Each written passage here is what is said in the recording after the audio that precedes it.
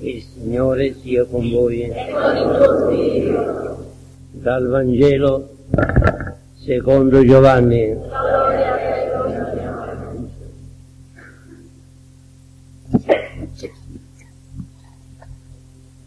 Venuta la sera i discepoli di Gesù scesero al mare e saliti in una barca si avviarono verso l'altra riva in direzione di Cafarnao.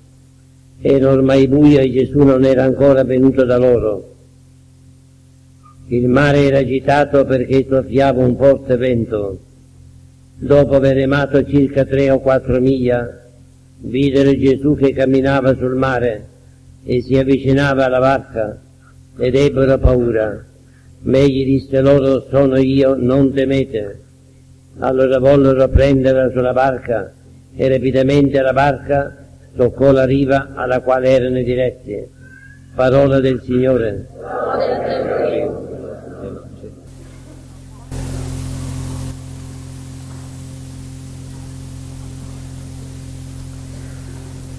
Siamo a Gerusalemme e la comunità cresce e col crescere del numero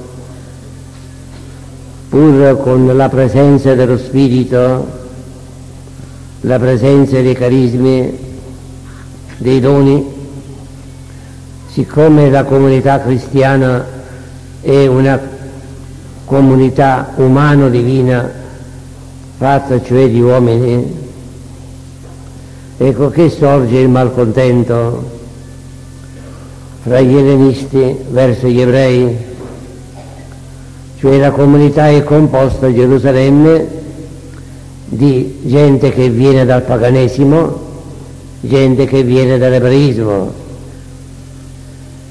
E siccome era tutto in comune, sembrava agli ellenisti che le loro vedove fossero trascurate nella distribuzione dei viveri.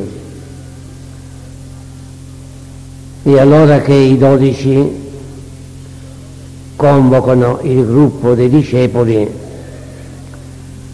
e fanno questo discorso. Noi non possiamo occuparci delle cose temporali fino a tal punto da trascurare le cose principali. E le cose principali per noi sono la parola di Dio e la preghiera. Noi abbiamo un ministero da svolgere, e cioè la preghiera, la direzione della preghiera, dell'Eucaristia, tutta la preghiera, la parte cultuale e l'evangelizzazione.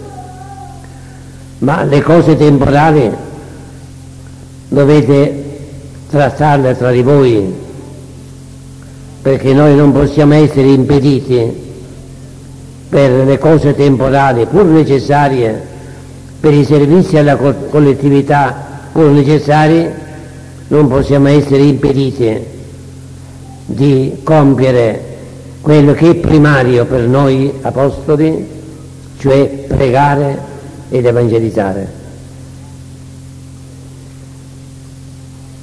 E così Ecco la proposta, guardate tra di voi, scegliete persone degne, capaci di compiere i servizi alle mense, presentatele a noi, noi imporremo le mani e daremo il mandato. E così ne scelsero sette, la scelta è della comunità, la proposta è della comunità non è dall'alto che viene la scelta, ma è la comunità che sceglie e poi gli apostoli impongono le mani, confermano quanto la, la comunità ha fatto, danno il mandato e questi sette sono i primi sette diaconi che amministrano le cose temporali, sono dediti al servizio pur necessario cioè alla diaconia, a servire i propri fratelli nel Signore. Vediamo che cosa c'è da osservare in questa pericope che forma la prima lettura, pericope degli atti. Innanzitutto il malcontento. La comunità di Gerusalemme è una comunità tipo, una comunità inarrivabile per perfezione. Erano un cor solo e un'anima sola poggiava la comunità sulle quattro colonne, erano assidui alla istruzione degli apostoli, alla preghiera, alla comunione fraterna, alla frazione del pane. Non mancava nulla a questa comunità. Eppure sorge il malcontento sorgono i dissidi, appunto perché è inevitabile in una comunità di uomini pur santificati dallo Spirito, pur camminando nella via della luce, qual era la prima comunità di Gerusalemme, comunità tipo, perfetta, è inevitabile che sorgono dei malcontenti, dei dissidi, per tante circostanze provenienti o dall'interno della comunità esterna, stessa, oppure dall'esterno, dall'ambiente, dalle necessità temporali che condizionano la vita interiore. Per cui nessuna meraviglia che in una comunità possono sorgere dei dissidi e non perché sorgono dei malcontenti dei dissidi quella comunità non è buona la comunità è buona la comunità perfetta è quella di Gerusalemme eppure ci sono dissidi e malcontenti per cui dobbiamo avere come scontato che in una comunità quanto più sono le persone, tanto più facilmente sorgono dei malcontenti, dei dissidi, delle divisioni, delle mormorazioni. Il guai è quando noi questo non lo vogliamo accettare e quando a causa di questi dissidi, di questi malcontenti, diciamo, la comunità non vale. Oppure quando pretendiamo che queste cose non succedano. Queste cose debbono succedere, è inevitabile che succedano, però come gli apostoli vanno incontro ai bisogni, ovviano a tutti i bisogni per eliminare ogni malcontento e contentare tutti, così bisogna fare anche in ogni comunità e per comunità intendo la famiglia, per comunità intendo i gruppi ecclesiali, per comunità intendo la parrocchia dove viviamo. È inconcepibile per noi un perfezionismo a tal punto che tutta va da liscio. Si tratta allora di una comunità di morte, soltanto i morti al cimitero non si bisticciano tra di loro, ma una comunità di vivi che hanno una testa per conto proprio, possono succedere facilmente queste vedute diverse, però bisogna subito venire incontro, esaminare ogni cosa e provvedere come provvidero gli apostoli. una, così, una veduta saggia quella degli Apostoli e un modo di provvedere ancora più saggio, ossia gli Apostoli prendono coscienza che da soli non ce la fanno, prendono coscienza che tutta la comunità è chiamata ai ministeri, ai servizi, che loro hanno un servizio particolare in forza della loro fisionomia, sono gli apostoli e pertanto riservano a loro riservano due servizi più importanti, pregare ed evangelizzare. Per cui la preghiera è la cosa più importante nella mente degli apostoli. Non possono servire gli altri trascurando la preghiera, perché la preghiera è la forza dell'evangelizzazione. Nessuno può evangelizzare se non si riempie di Dio, altrimenti si corre il rischio di evangelizzare se stessi e nella preghiera che viene recepita la parola di Dio, che si viene infiammati dell'ardore di Dio, ossia la teme che ci si riempie di Spirito Santo, luce, amore e forza. E chi non ha luce, non ha amore, non ha forza, non può evangelizzare convenientemente. E siccome l'evangelizzazione è vitale nel ministero apostolico perché per questo il Signore ha mandato gli apostoli, gli inviati, andate in tutto il mondo, annunziate il Vangelo ad ogni creatura, fate discepole tutte le nazioni perché siano salvate. Ecco che gli apostoli riservano a sé questi due ministeri chiave, preghiera, preghiera ed evangelizzazione. Poi vengono i servizi, i servizi vengono dati agli altri, a tutta la comunità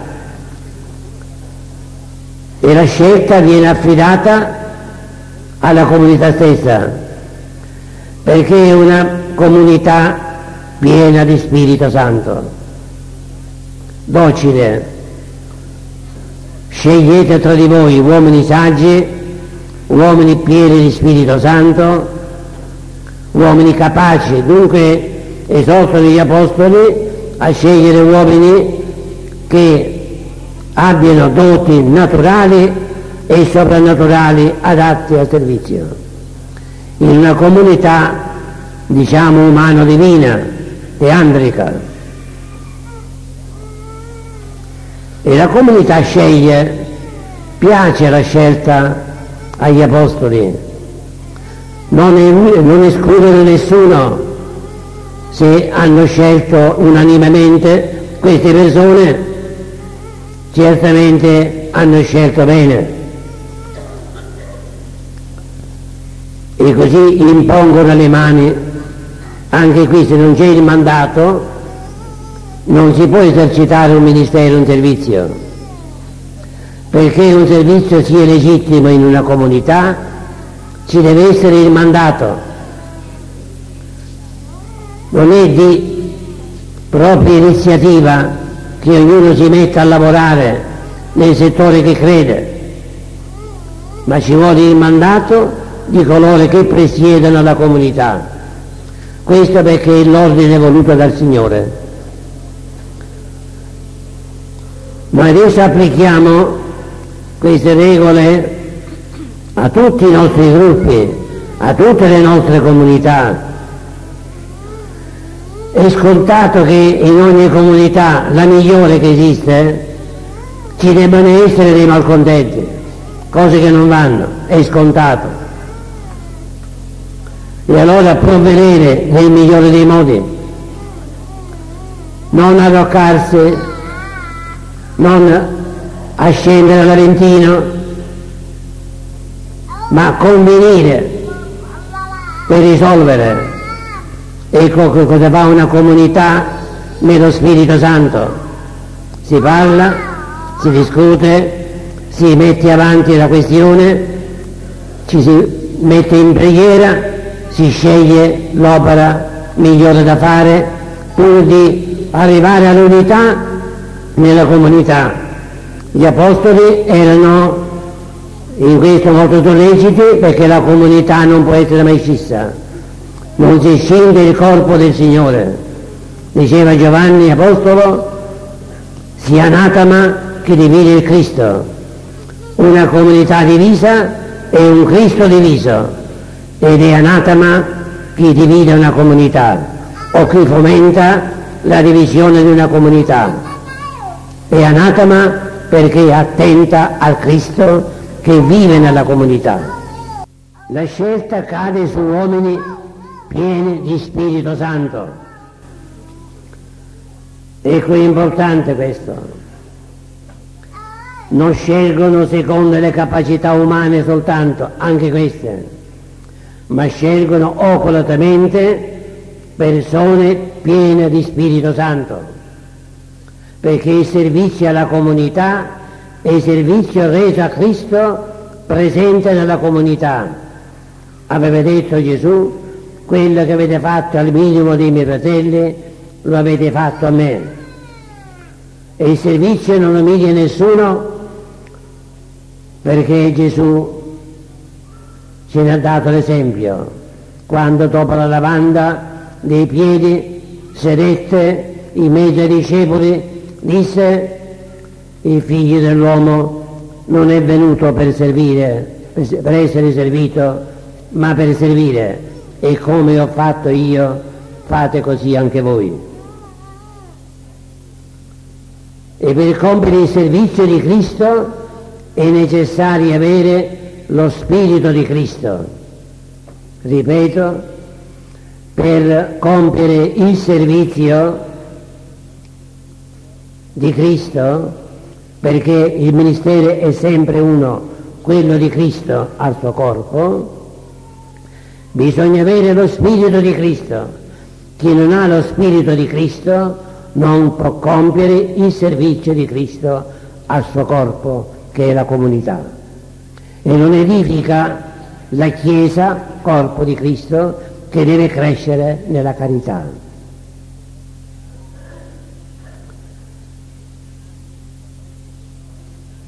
Gli apostoli riservano, come dicevo, la preghiera e l'evangelizzazione. Sono due ministeri ai quali anche gli altri vengono chiamati, ma sono specifici questi due ministeri degli apostoli, dei discepoli del Signore. I discepoli possono anche non servire le mense, ma non possono non pregare, non possono non evangelizzare. Sono due ministeri propri dei discepoli, degli apostoli, di coloro che presiedono alla comunità. Ora io vorrei attirare l'attenzione all'importanza della preghiera. Se gli apostoli se la riservano non è che escludono gli altri, no, perché è detto che erano costanti nella preghiera, nella frazione del pane, però è l'importanza della preghiera per la crescita spirituale. Non tralasciamo mai la preghiera con la scusa di servire, con la scusa di vigilare sugli altri. Può succedere questo e succede. Ci sono persone le quali sono adibite ai servizi e stanno sempre alla porta, stanno sempre in giro e non pregano mai. Questo non è un bene. La preghiera non va mai trascurata, per cui chi non si alimenta di preghiera non può servire bene è un servizio nello Spirito Santo e bisogna alimentare questo servizio, questo spirito di servizio con la preghiera. Ecco perché io vedo bene che nei servizi ci si avvicenda in modo che la preghiera non venga saltata. La preghiera deve essere sempre l'alimento necessario in tutti i ministeri che noi facciamo. L'avvicendamento dei servizi materiali è necessario perché non si venga meno alla preghiera. San Francesco, quando andava con i suoi frati negli eremi per pregare, li divideva in due categorie, settimana per settimana, e cioè i frati Marta e i frati Maria. I frati Marta per una settimana dovevano servire ai fratelli Maria, i quali, i fratelli Maria, non potevano fare niente se non pregare. La contemplazione non deve essere mai turbata. E i frati Marta così servivano, preparavano il cibo, preparavano tutto. Poi l'altra settimana cambio, i frati Marta diventavano frati Maria e i frati Maria diventavano frati Marta. C'è questo avvicendamento in modo che non venga mai meno dentro di noi lo spirito di preghiera necessario per sostenerci nel cammino che tutti siamo obbligati a fare e perché questo cammino sia omogeneo. Non è bene che alcuni siano sempre lì in preghiera, i servizi nobili diciamo, siano in profezia e gli altri siano sempre a scopare, a, a vigilare sulle sedie, ad appostare le cose, questo non è un bene. Questo avvicendamento ci vuole, o comunque provvedere perché quelli che sono adibiti al servizio, ai servizi materiali, abbiano lo spazio, abbiano i momenti in cui privi del loro servizio siano attenti alla preghiera, siano in prima fila qui.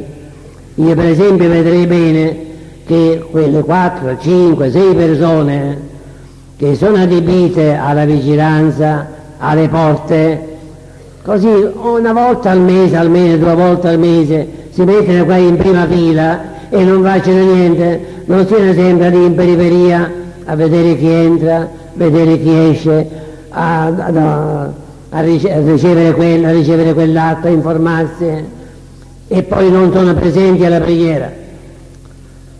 Questo voglio appunto sottolineare perché tutto sia compiuto bene e questa comunità cresca omogeneamente.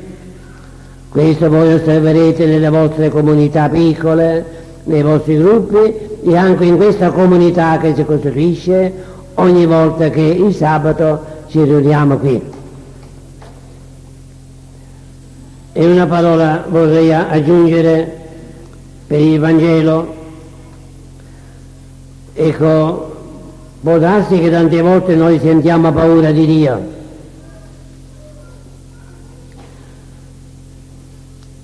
Camminando nel mare, cioè lavorando nel mare, può soffiare un forte vento che mette in pericolo la nostra navigazione. Gesù ci viene incontro, ma tante volte non lo riconosciamo, abbiamo paura. Gesù si avvicina alla barca dove i discepoli sanno remare, c'è forte vento. E allora quando videro Gesù nella nebbia ebbero paura, ebbero paura, tanto che Gesù dovette dire loro, sono io, sono io, non temete. E allora furono rassicurati, Gesù manifesta la sua identità, può succedere questo a noi. Nel corso del nostro lavoro possiamo anche non vedere Cristo, non accorgerci di Lui, anche quando lui ci sta vicino, perché c'è la bruma del mattino, c'è la nebbia della sera, la penombra e il crepuscolo che possono anche non farsi vedere bene. E allora il Signore che è sempre vicino, perché camminiamo nel mare della vita, sempre con il Signore, ci sono dei momenti in cui il Signore si fa presente e ci dice sono io, non temete. Non avere mai paura, mai paura. Gesù chiede una cosa, mettetevi in barca, imbarcatemi. E appena imbarcano Gesù, la nave fila. Avevano lavorato, stentavano a tenere così in equilibrio la nave ed era così faticoso remare. Ma quando Gesù sale sulla barca, subito raggiungono la riva. Ecco, il lavoro viene così agevolato in maniera portentosa. Finché Gesù è fuori, gli apostoli debbono lavorare, ma quando Gesù è dentro la barca non c'è più timore né di affondare, ci sono io e neanche di lavorare troppo perché è Lui che porta avanti la nave, porta avanti il nostro lavoro. Affidiamoci a Cristo Signore, affidiamoci a Lui perché Egli è con noi e soprattutto imbarchiamolo nella nostra vita. Tante difficoltà ci saranno quando noi avremo imbarcato Gesù, che è vicino a noi Tante volte non lo riconosciamo, tante volte abbiamo paura, però è Lui il Signore.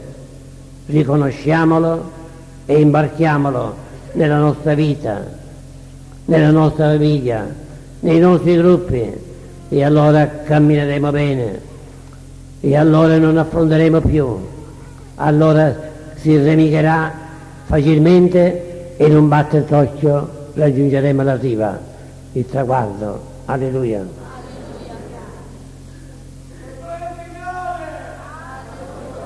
Signore, dobbiamo ripeterlo più spesso, ma dobbiamo personalizzarlo. Gesù è il Signore di tutti, ma Gesù è il mio Signore. È colui che mi guida nella vita.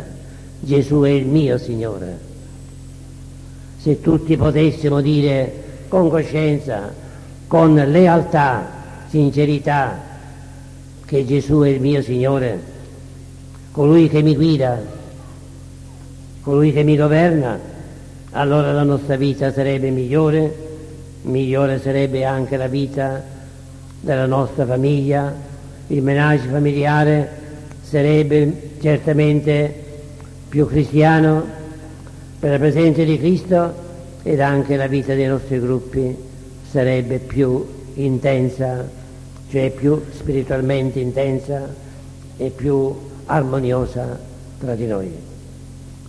E allora benvenga il grido Gesù è il Signore. La dite così, Gesù è il mio Signore.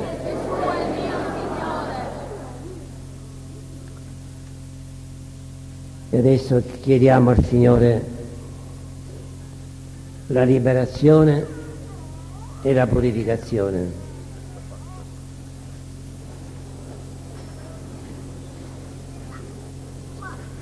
Chiediamo innanzitutto a Gesù liberatore. Siamo nel Tempio di Gesù liberatore.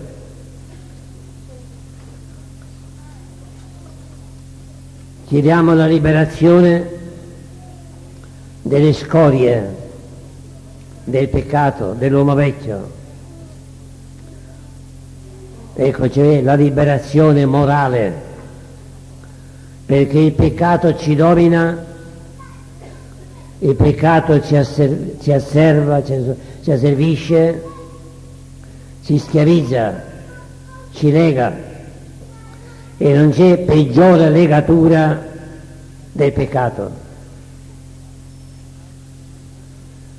Non basta confessarsi, sì, con la confessione può essere rimessa la colpa, ma se no, noi non ci emendiamo, se non rinunziamo fortemente al peccato, se non facciamo intervenire la potenza liberatrice di Cristo invocandola, restano dei legami al peccato, ecco le ricadute, le facili ricadute, perché siamo ancora legati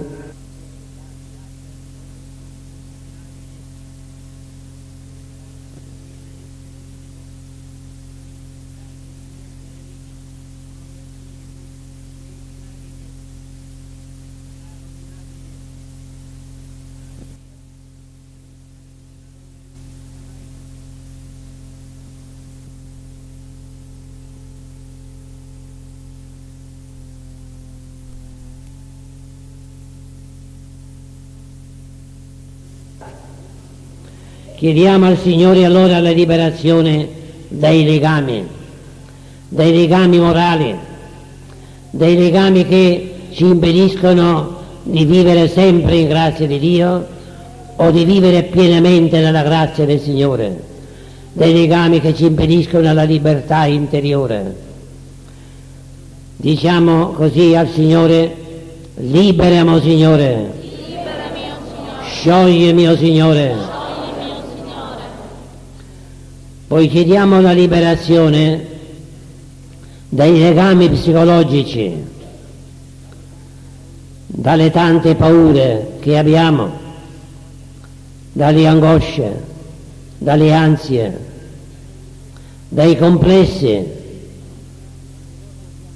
Tante volte siamo schiavi dei nostri complessi, complessi di inferiorità, complessi di superiorità Siamo schiavi delle tante paure, paura dalla morte, paura delle malattie.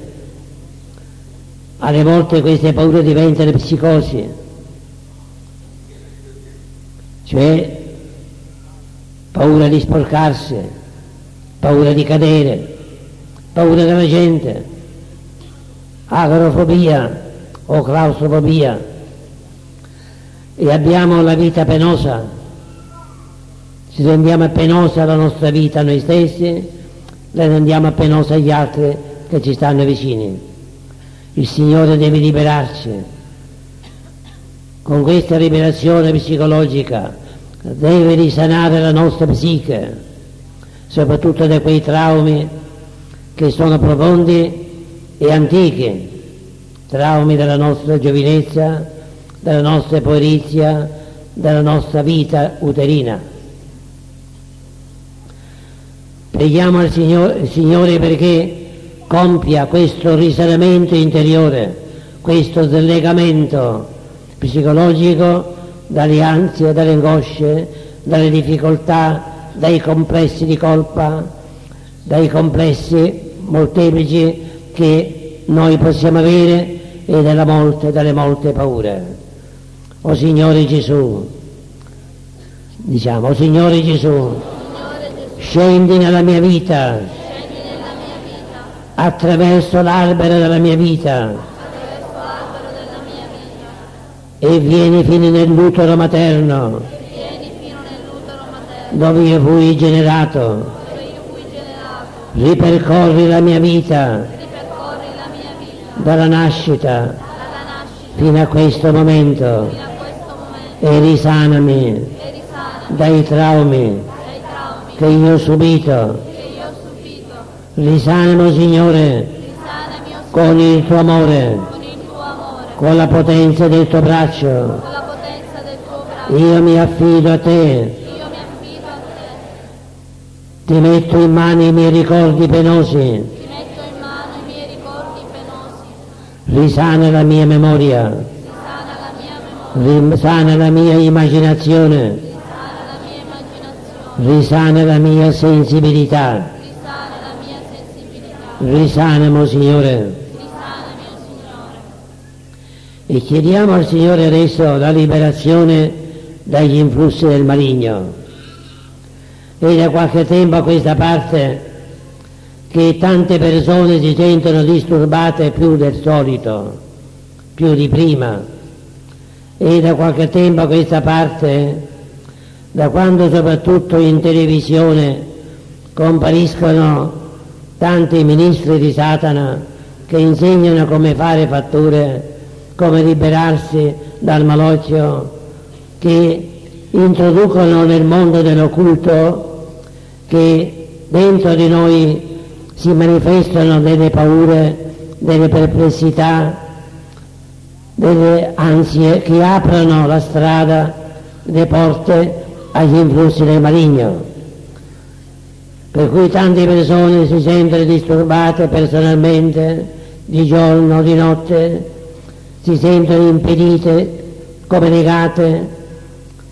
In tante famiglie non c'è quiete, non c'è pace, c'è sempre alterco, divisioni, malintesi, senza dire che in tante case ci sono infestazioni malefiche, disturbi materiali, tutta la nostra vita è disturbata.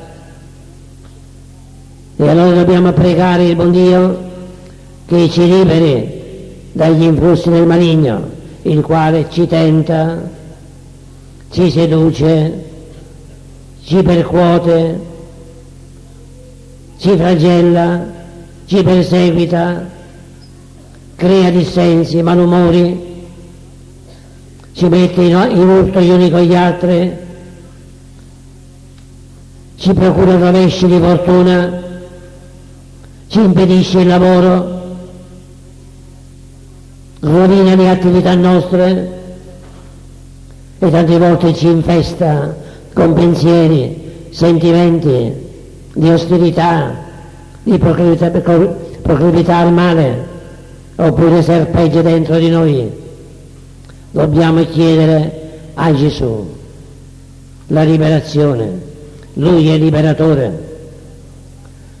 Dobbiamo da una parte accostarci ai sacramenti che sono sicurezza per noi. Non andare mai da maghi, non andare mai di coloro che fanno preghiere e di cui non sappiamo l'origine. Non salire scale proibite, l'unica scala è quella della Chiesa, i gradini della Chiesa, i gradini di casa nostra. Invochiamo il Signore e Lui ci verrà incontro. Chiediamo i sacramenti, chiediamo i sacramentali, chiediamo le preghiere liturgiche, le preghiere, le benedizioni che la Santa Madre Chiesa ci dà in abbondanza, ma non frequentiamo lo straniero o i ministri dello straniero per essere liberati dallo straniero. È un'illusione che lo straniero vada contro di sé, come dice Gesù nella scrittura. E allora ricorriamo a Dio e chiediamo questa mattina al Signore la liberazione da questi molteplici disturbi del maligno, siano quelli piccoli siano quelli gravi. Oh Gesù liberatore, liberaci, scendi nelle nostre famiglie e liberaci, scendi nelle nostre vite e liberaci. E adesso cantiamo il canto della liberazione. Corina.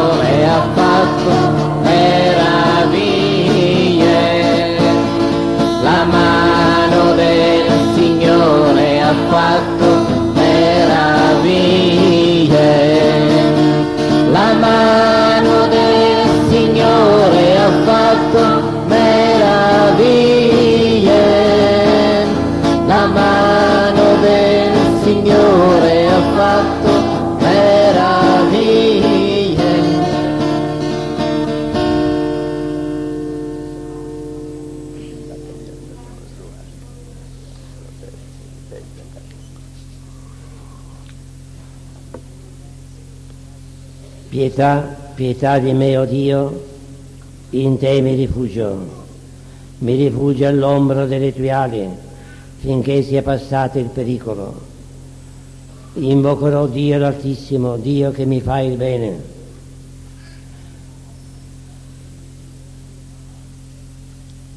Manda dal cielo a salvarmi dalla mano dei miei persecutori.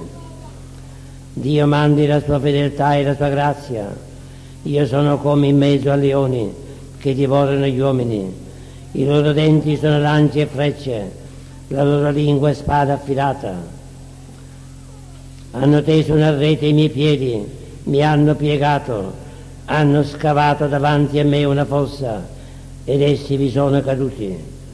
Salve il mio cuore, Dio, salve il mio cuore. Voglio cantare a te, voglio inneggiare. Svegliati, mio cuore, svegliati, arpe, cetra. Voglio svegliare l'aurora.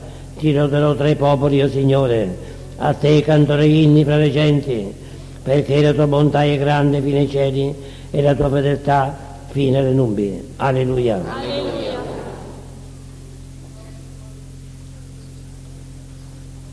Ecco, ringraziamo il Signore perché il Signore è qui in mezzo a noi, noi lo abbiamo invocato ed Egli si è reso presente. Gesù è qui in mezzo a noi, liberatore potente. O oh Gesù liberatore, liberaci questa mattina, oh Gesù liberatore, sii per noi liberatore potente, oh Gesù risanatore delle menti e dei cuori, degli animi e dei corpi, risanaci da tutte le nostre infermità e noi canteremo a te inni di ringraziamento. Mori alla sombra sia Signore mio rifugio, mia roccia in cui confido.